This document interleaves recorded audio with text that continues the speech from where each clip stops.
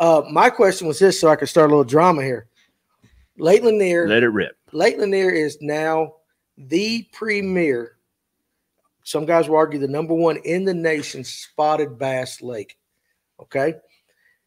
Everybody knows that if you have a largemouth lake or something, spots get into it, they will just outcompete the largemouth. Yep. Could it be, and I might be 100% wrong, but could it be that the spots are taking a lot larger chunk of the blueback population than we think they are? No, I don't I think, don't think so. that could happen. I don't think the spots are hurting the striper fishing. I really don't. I was hoping for you to say, hell yes, they do. and We can argue about it. No. No, because I don't feel like the bass are solely dependent on that bait fish No. like stripers are. But there's the bass Yeah. eat a lot of other things besides herring.